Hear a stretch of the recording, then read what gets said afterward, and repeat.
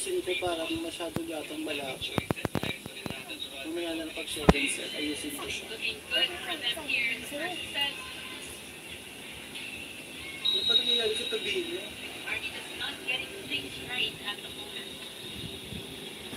Still no go for Rice Tudino as Kung Fu to look for a substitute para makahinga muna at makapag-observe din si Royce Tudino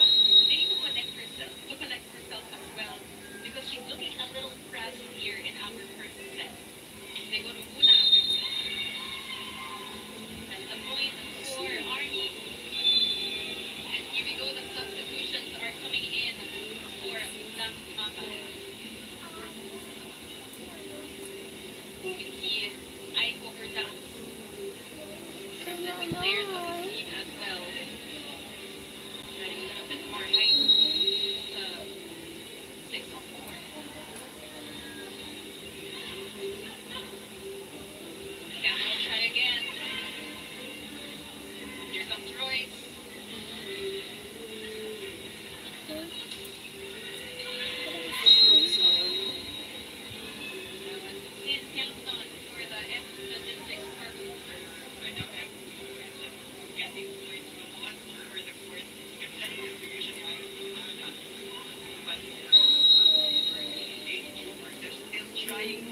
Muito bem.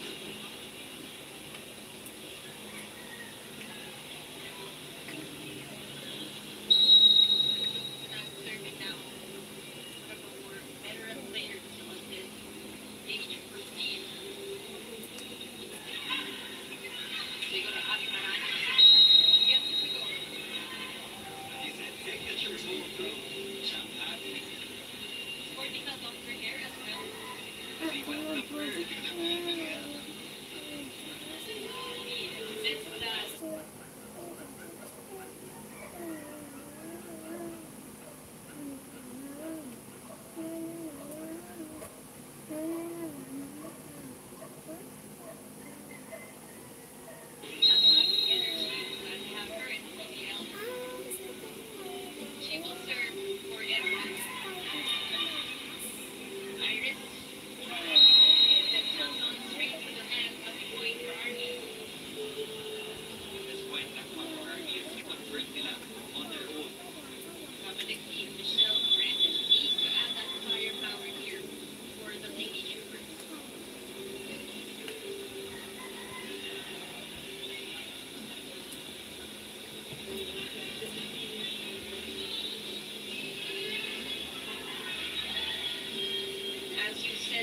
importante ang communication on the court because